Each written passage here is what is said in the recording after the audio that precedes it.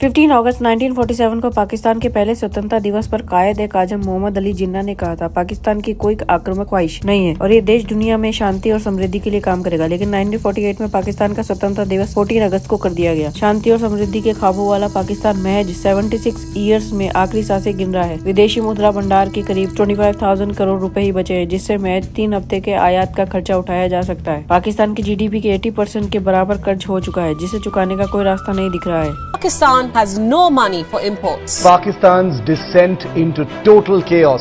लेकिन डिफ़ॉल्ट होने के बाद पाकिस्तान का होगा क्या? पहला, पाकिस्तान के लिए इमरजेंसी सिचुएशन होगी। बाज़ार में बड़ी गिरावट की शुरुआत होगी। कंपनियाँ, फैक्ट्रीज और सर्विसेज़ खुद को दिवाला घोषित करना शुरू करेंगी। बाद में पाकिस्तान रुपए में बहुत तेज गिरावट होगी। कच्चा माल इम्पोर्ट न होने से कई सेक्टर पूरी तरह बंद हो जाएँगे। तेल की कमी से एयरलाइंस और शिपिंग कंपनियाँ सर्विसेज़ देना बंद कर देगी। व्यापार मनमंजी करेंगे। लोग बैंकों से अपनी सेविंग्स निकालेंगे, जिससे वित्तीय सिस्टम गड़बड़ हो जाएगा। सामाजिक अशांति फैलने लगेगी, जिससे क्राइम भी बढ़ेगा। बाद में पाकिस्तान की जीडीपी सिकुड़ जाएगी, जिनके पास पैसे है, वो विदेश भाग जाएँगे और जो गरीब आसपास पलायन को मजबूर होंगे। पैसे के लिए पाकिस्तान कोई भी शर्त मानने को तैयार हो जाएगा। पाकिस्तान में कर्ज देने वालों का दखल बढ़ जाएगा। पहले ही साल में सरकार या शासन करने का मॉडल बदल सकता है। आपकी क्या राय है इस बारे में? कमेंट में ज़रूर बताना और जाते जाते चैनल को लाइक, शेयर सब्सक्राइब ज़रूर करना।